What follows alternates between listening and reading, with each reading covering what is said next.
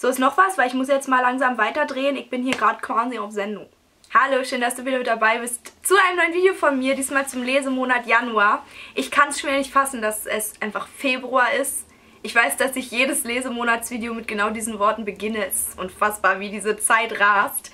Bevor ich dir zeige, welche Bücher ich im Januar gelesen habe, habe ich zwei Bitten an dich. Einmal würde ich gerne bald ein Q&A-Video drehen, weil ich danach schon echt oft gefragt wurde. Falls du also Fragen an mich hast, die dir sowas von unter den Fingern brennen, dann schreib sie mir gerne in die Kommentare.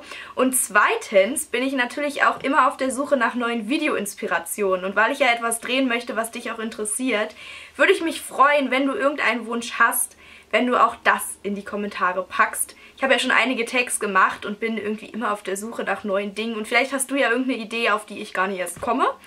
Deswegen, äh, ja, wenn irgendwas...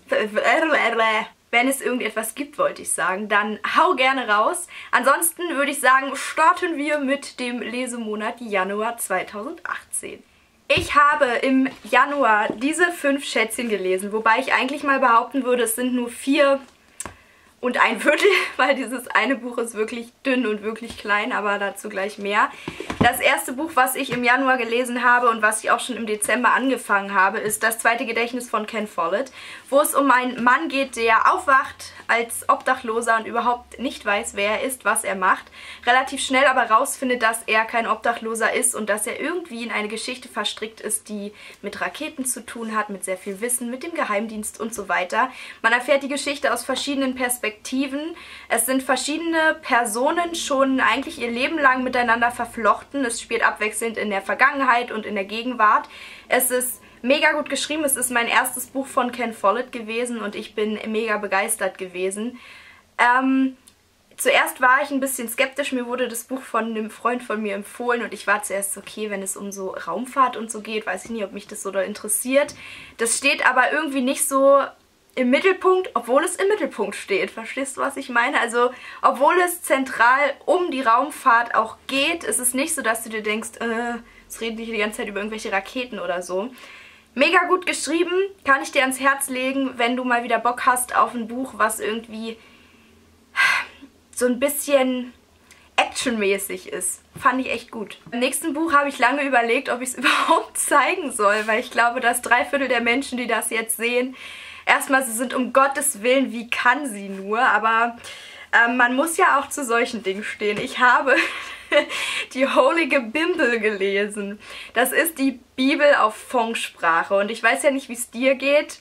Ich finde dieses alles mit Fong und Ibims und so finde ich richtig, richtig witzig. Ich weiß, das ist irgendwie ein bisschen zurückgeblieben. Aber ich lache mich darüber richtig tot.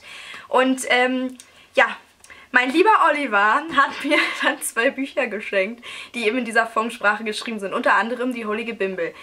Wenn du gläubig bist, ich möchte mich auf gar keinen Fall darüber lustig machen. Das möchte ich an dieser Stelle mal klarstellen. Ähm, falls du die Fong-Sprache lustig findest, ohne Witz, das ist so gut, weil es nicht nur so ein dummer Humor ist, wo du einfach nur Stromkopf haben musst, um es lustig zu finden, sondern es geht auf so viele aktuelle Geschehnisse auch ein und ah, es ist einfach witzig. Es sind wirklich einzelne Geschichten aus der Bibel in dieser Fong-Sprache erklärt, wo so die Message dieser Geschichten rüberkommt, aber halt auf lustig gedreht. Und ich fand's mega witzig. Ich weiß nicht, ob ich mich jetzt dafür schämen sollte. Ähm, und bevor ich mich hier um Kopf und Kragen rege, lege ich es einfach weg. Dann habe ich zusammen mit Isa und Sarah, ähm, deren Profile bei YouTube bzw. bei Instagram ich mal unten verlinke, Iskari der Sturm naht gelesen von Kristen Cizzarelli. Und dieses Buch wurde ja richtig gehypt und ich hatte es bei Ava in der einen Box mit drin. Kurz gesagt geht es um Ascha, die Todbringerin, die eigentlich von allen so ein bisschen gefürchtet ist. Sie hat ein ziemlich schweres Feuer überlebt und alle denken, sie ist die Iskari, also die Todbringerin. Diese Geschichte hat mir vom Klappentext her überhaupt nicht verraten, worum es eigentlich geht. Wenn du null gespoilert werden willst, also wirklich nur diesen Klappentext kennen willst, dann hör jetzt lieber kurz weg. Ähm, ich werde natürlich nicht jetzt grundsätzlich sagen, was alles passiert, aber es geht viel um Drachen. Und das hätte ich gerne vorher gewusst, beziehungsweise warum will ich es eigentlich vorher wissen? Ich habe es ja dann ähm, erkannt, aber Deswegen würde ich bei diesem Buch immer sagen, dass es mich ein bisschen an Drachenzähmen leicht gemacht erinnert hat. So. Ähm, kurzum, Ascha soll jemanden heiraten, den sie eigentlich wie die Pest hasst. Das ist von ihrem Vater aus so ähm, ja, versprochen worden. Ihr Vater ist der Drachenkönig und sie will den eigentlich überhaupt nicht heiraten und der Sklave von ihm, wo es eigentlich verboten ist, ihm überhaupt in die Augen zu sehen und so weiter, der scheint so ihre Rettung zu sein, beziehungsweise ihr Verbündeter. Und in dieser Geschichte geht es auch viel um, um Sagen, um alte Geschichten. Es ist super schön aufgemacht. Also erstens fängt jedes Kapitel hier mit so einem, hallo, fokussiere, mit so einem super schönen halben Mandala irgendwie an. In diesen alten Geschichten, die immer wieder in die aktuelle Geschichte eingewoben werden, erfährt man, was eine Iskari eigentlich überhaupt ist, was eine Namsara ist, wieso bestimmte Hierarchiestrukturen so sind, wie sie eben jetzt sind, was es mit Aschas Familiengeschichte auf sich hat. Ungefähr die Hälfte des Buchs ist gar nicht mal so mega krass gewesen. Es hat mich jetzt nicht so gepackt. Aber ab dem letzten Viertel war es echt so, dass ich mit Herzrasen auf meiner Couch saß und dieses Buch unbedingt an einem Stück zu Ende lesen musste. Ich habe mitgefiebert, ich habe richtig wirklich Herzrasen gehabt. Ich, ich habe irgendwann angefangen zu weinen, weil was ganz furchtbar Schreckliches passiert ist. Ah, ich fand es echt toll. Also ich bin gespannt, wie es weitergeht. Wobei ich auch finde, es könnte auch einfach zu Ende sein. Ich weiß, das sehen die anderen nicht so, aber hat mir alles in allem echt dann doch gut gefallen, besser als ich es am Anfang gedacht hätte. Ich bin drei Monate lang stark geblieben und dann konnte ich nicht mehr widerstehen und habe mir von einem Gutschein, den ich bekommen habe, Lost Boy von Christina Henry gekauft, wo es um Peter Pan geht, beziehungsweise mal um eine andere Sicht auf die Geschichte von Peter Pan. Ich kann gar nicht so viel verraten, einfach weil ich mich selbst gespoilert habe und ich nicht möchte, dass dir das passiert. Es gibt nämlich noch einen alten Titel von diesem Buch, das ist auf Englisch. Und das hat mir zu viel verraten. Das sind Dinge gewesen, die wollte ich überhaupt noch nicht wissen. Es geht um ähm, Jamie, der auf diese Insel kommt, als erster Lost Boy von Peter Pan. Und auf dieser Insel bist du ja eigentlich mega glücklich, denkt man zumindest immer. Zusammen mit Peter holt er noch andere Jungs eben von der normalen Welt rüber auf die Insel. Die sind dann dort alle glücklich zusammen, spielen, machen Unsinn, ärgern die Piraten. Und zuerst bist du echt so, oh, voll cool irgendwie, voll schön, wie die alle miteinander umgehen. Und irgendwann merkst du, dass Peter Pan vielleicht eigentlich gar nicht so nett ist, wie er immer tut und eigentlich ein kleiner Psychopath. Und ähm, was ich sehr, sehr passend finde, ist der Aufdruck vorne, wo einfach steht, You'll never look at Peter Pan in the same way again. Und das stimmt einfach, denn ich habe das gelesen. Und ich war danach so richtig anti-Peter Pan, weil ich mir dachte, um Gottes Willen, was bist du eigentlich für einer? Ich habe dann auch erstmal gleich den Disney-Film nochmal geguckt und mir dann eingebildet, dass diese Geschichte wirklich quasi vorher passiert ist. Also ich weiß, dass Peter Pan nicht echt passiert ist. Ich bin ja nicht blöd, aber weißt du, wie ich meine? Du siehst es dann einfach irgendwie anders, weil Dinge passieren und Zusammenhänge anders sind, als du es denkst und es ist irgendwie blöd, dass ich dir nicht mehr von der Geschichte verraten kann, aber ich nehme dir sonst einfach zu viel vorne weg. Ich weiß nicht, ob es das auf Deutsch gibt. Ich habe es jetzt auf Englisch gelesen, ging aber auch mega schnell. Sind nicht so viele Seiten und ist groß geschrieben. Falls dich Peter Pan interessiert und mal so einen etwas düstereren Blick, düstereren Blick, stimmt doch, oder? Ja. Darauf zu kriegen, kann ich dir ans Herz legen. Davon gibt es noch eins über Alice im Wunderland, das habe ich auch hier, habe ich aber noch nicht gelesen.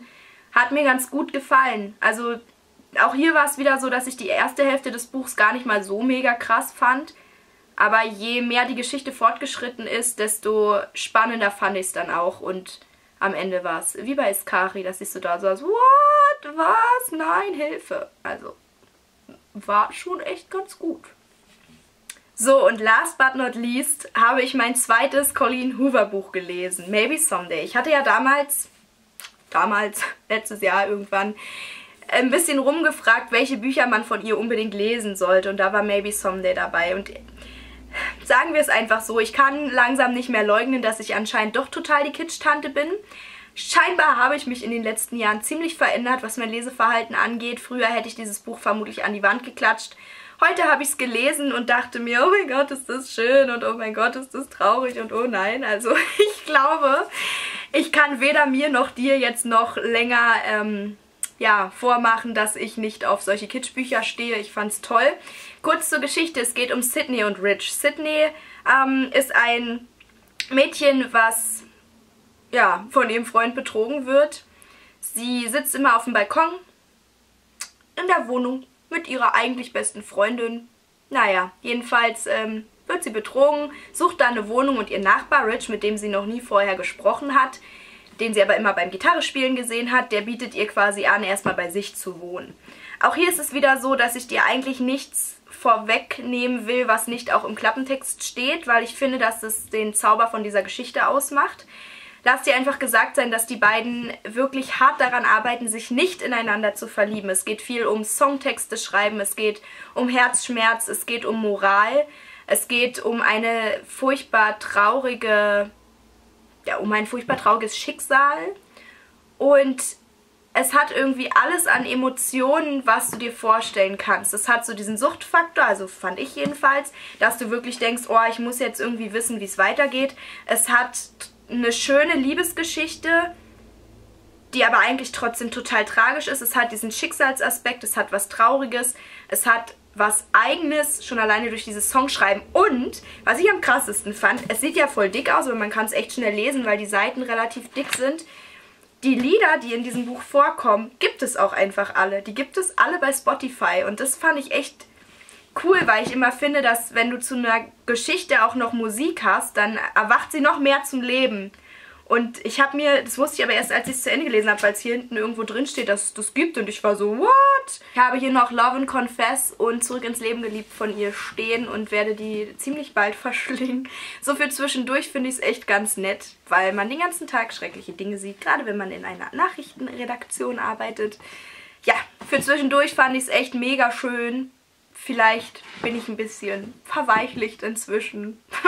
Mord und Totschlag ist anscheinend nicht mehr mein ähm, Hauptaugenmerk, wenn es ums Lesen geht. Hast du dich auch schon mal verändert mit deinem Leseverhalten? Würde mich interessieren.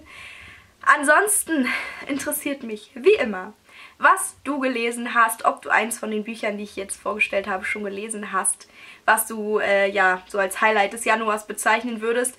Ansonsten hoffe ich, dass wir uns im nächsten Video sehen und würde sagen, bis dahin habt's fein. Ciao!